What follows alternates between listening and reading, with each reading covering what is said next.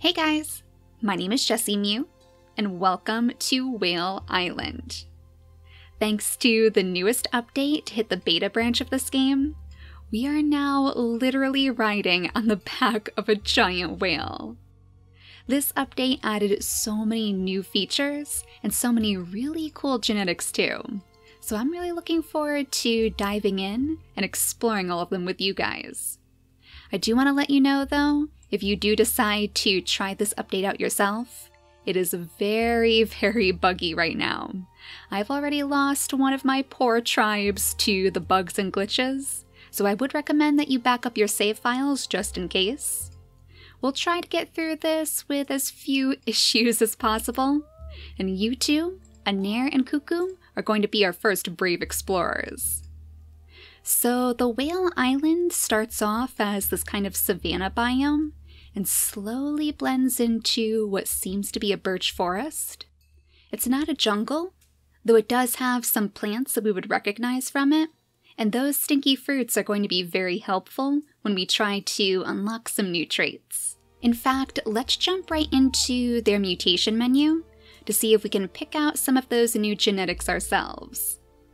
Unfortunately, not all of the traits have been added to the menu, though based on what I've read so far, it sounds like they will be coming later. But the very first one on our list is the purr snout, and this one has to be my favorite of all. It's basically like a little kitty face, and it allows them to heal the creatures around them, so we could train some true proper healers to join our tribe's stories. I think that's what has me so excited about this one. I can't wait to work that into all of the lore that we've built so far. We have a new horn slot too, the antenna, though unfortunately I think this is a little bit broken right now. It doesn't show up on their models when they have it, and while it's supposed to aid in weather prediction, so far I haven't noticed it changing anything about the game, so hopefully that'll be fixed soon. We also have the heat body. I haven't seen this one yet, but it sounds like it would be super helpful in the mountains. And then, of course, the wings, which I know so many of you have been waiting for. It takes up one of the paw slots, and I believe you do need two wings to actually be able to fly. But we have to invite animals with the wings into our tribe to unlock it in the mutation menu, so I haven't had the chance to play around with it yet. Hopefully today we'll be a bit more lucky in finding it. Now we only have access to one of the new tails, which is the tail fin, and because of that, I think I'm going to plop that straight into their mutation menus. While it might not be too helpful on Whale Island because we can't use the water, I feel like it's still a pretty fitting trait. We can be like a traveling pack of mermaids, hitching a ride on the back of this giant whale. Now, is there anything else that we need to be made aware of before we continue? The eyesight, of course. The eyesight always seems to be an issue in our starting pair. It looks like Cuckoo is actually hiding the antennas away in his inactive traits, so maybe there is a chance that we'll see that on some of our babies. I'm not sure how useful it's going to be while it still appears to be glitched, but I can't wait to see what it looks like once it is fixed. It's nice that they're adding in different horn genetics, things that are a little bit different from the ram horns and the antlers, so they do different things other than just giving us strength. Though strength is going to be important out here too, because bear hyenas do like to spawn in these savanna grasses, so we want to make sure that our creatures are well prepared. Oh my goodness! Did somebody have a feast on these berries already? That is a lot of missing berries. I don't think anything should have spawned in here already, right? We like literally just landed on the island. There's no bunnies around. Oh, great, we already have a big mystery on our hands. Well, I guess, Anair, you might as well plop down your first nest. At least we have a couple of berries on that shriveled up bush that we should hopefully be able to use for your children. Now, do you have our first fin tail? Nope, it looks like he inherited the medium tail instead. So no little mermaids for us just yet. Now, just to help me tell these creatures apart, I am going to continue to use the big long list of names that you guys helped me make. I don't intend for this to be a full series while the game is still so glitchy, because I don't want to risk losing all of our stories to the bugs. But while we're hunting down all of these new genetics, we might as well continue the tradition. So welcome to our tribe, Rocco, the very first baby to be born on the Whale Island. We'll have your mother go ahead and scoop up as many berries as she can, since we know that something must be lurking out here. Something is looking to steal all of our food. We do have a root that Cuckoo could dig up instead, and now that they've buffed the digging paw a little bit, it'll be much more beneficial for us to focus on the roots. We gain one extra piece of food each time we dig up a pile. I think for the most part, though, we're going to want to get out of the savannah as soon as possible. We already know from experience that the savannas are very low on food, so the sooner we get to these wide open spaces, the better. We even have little oak trees mixed in, so we could bring our cracker jaws over to those to pick up food. And for that matter, we have a brand new type of tree in the savannah too. I believe what this one does is it shades our creatures from the savannah heat. So if things started to get a little bit too hot for our creatures, and if they started to lose energy, we could have them rest for a while under the shade of the tree. Oh, and I don't think I mentioned the day counter either. This is one of those things that I wish we had from the very beginning. It would be so much fun to see exactly how many days we've spent on places like Adam's Quest. We've been at that one for quite a long time now. But we'll pack up our nurseries, and then we'll have cuckoos start carving a pathway even further through the savannas. We don't want Anair to get too far away from her baby, while we don't have any bluebirds chasing the whale through the ocean. You never know what sort of dangers are going to pop up in the savannah. And yet another cactus has been stolen from. This is very, very mysterious. Whoever is stealing from the cactus must be quite hardy. I believe they did change it so creatures with high defense are able to pick from the cactus safely now. So I guess there's always a possibility that somebody with the big body could be lurking around these parts. But so far it seems so quiet. Oh, this is very, very strange. It makes me think that the Bandit brothers must be playing tricks on us. I could definitely see them hitching a ride on the back of a whale, too. This seems like the perfect island for the tricksters to really let their influence shine. But we might as well make our way over to this new tree. Maybe we'll find some special resources down there, too.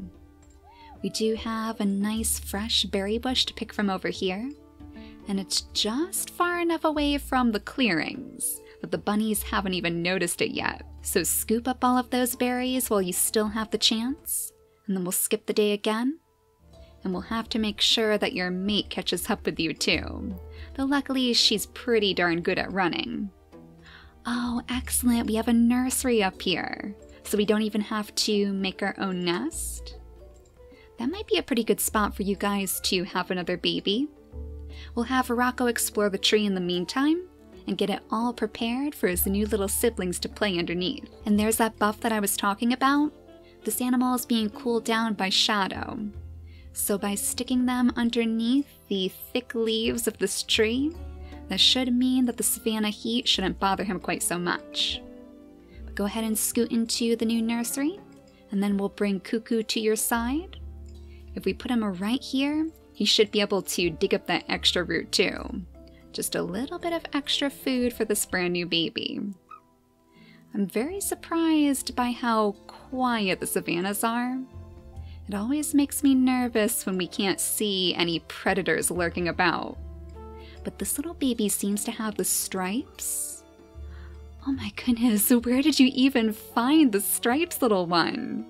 I guess that was from her father's inactive traits. The good news is that she's carrying the tail fin, so at least we're passing that along in some form.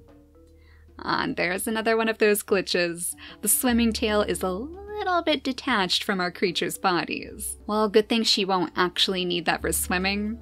It's all for show on Whale Island. But the next name on my list is North. So, welcome to our tribe, little one.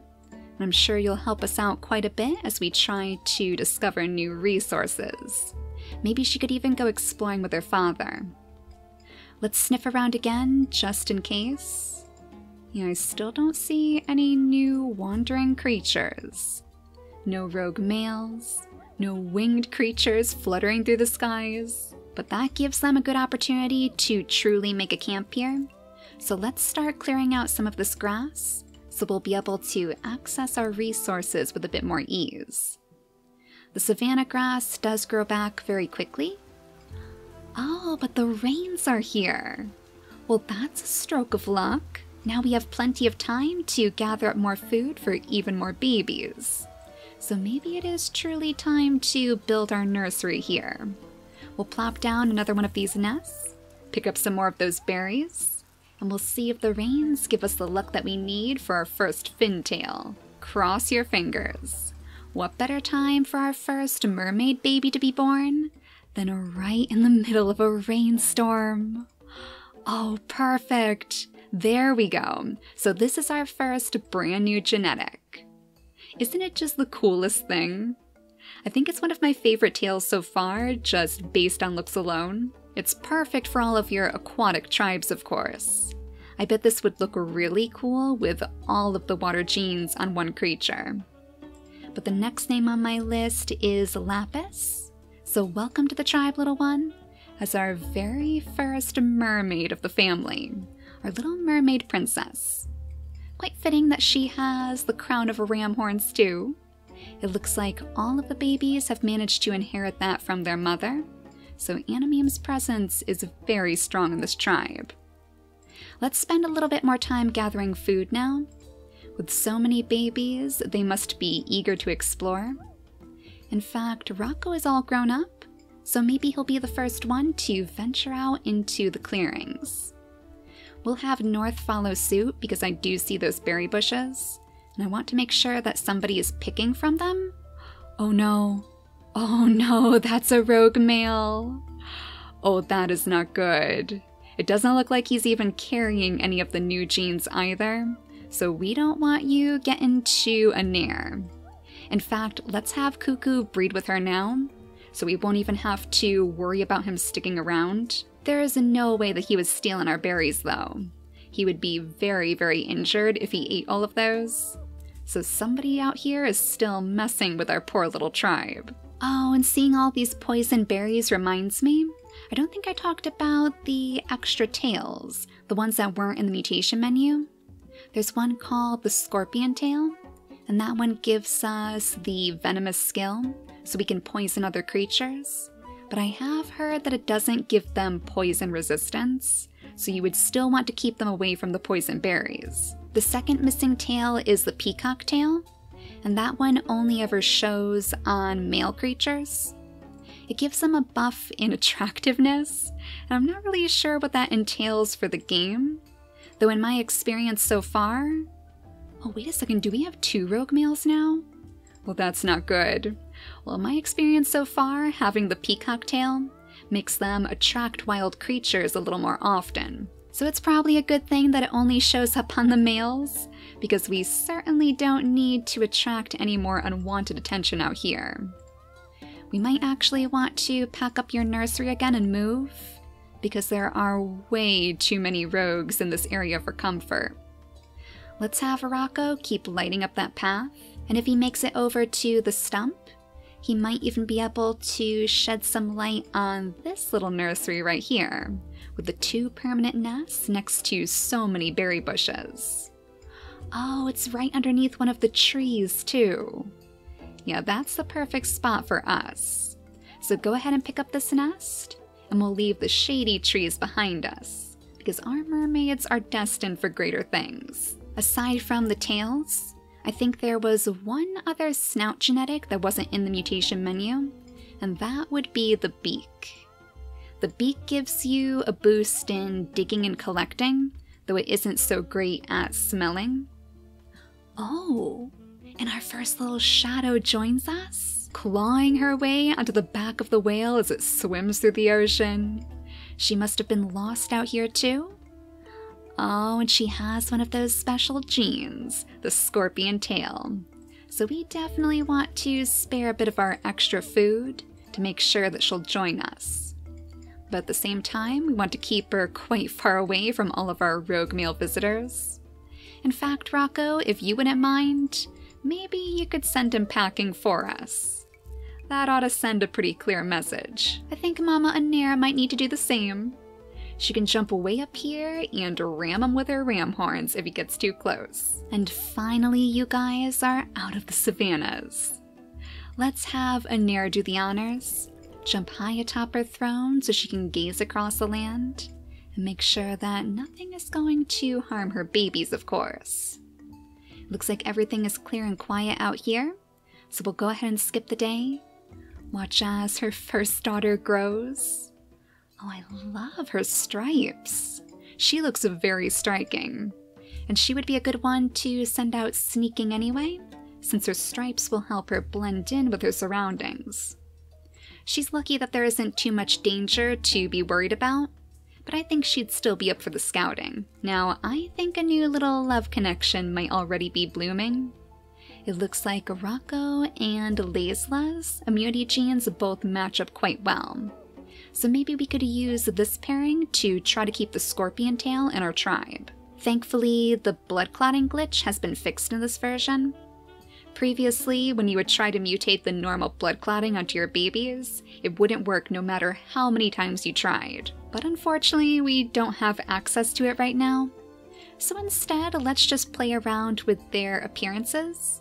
We'll go ahead and plop the mask into her second slot, so we can try to weasel that into our tribe too. I think that's the only pattern that we're missing at the moment. So maybe you two could make your way up toward the nursery. We'll have Laisla settle down right next to North, and then get started on family number two, the poison family if all goes well. We might even try to pick some of the poison berries in the future, so we can unlock the toxic body for them too. Now, Lapis, I have a special idea in mind for you. I would actually like your mother to hop off of her throne for the moment, because you're going to take up her place instead. When creatures are on top of stumps, they can actually call out to attract wild creatures. I'm not talking about you, little guy. The rogue males are not the ones we're looking for. But if anybody is wandering around the Whale Island, then if she sings long enough, she might just be able to lure them to her side. I feel like that would be a particularly fitting gift of our mermaids, kind of like a siren song. So we'll see if she's successful when she has a little bit more energy to spare. Now, Cuckoo, you absolutely need to jump up here and make sure that this rogue male is leaving your family alone. Not only can you vanquish him entirely, but you have some tasty roots to dig up right underneath his skeleton. So I guess that just leaves North to do a little bit more snooping around. We have all of those tasty acorns beneath the tree, but she's not quite suited to the task. So we'll have her scoot up here to take care of the berries on the next turn instead. And that should be the end of it. So let's go ahead and skip the day and see if hopefully this little baby is going to carry on the scorpion tail. Yes, excellent.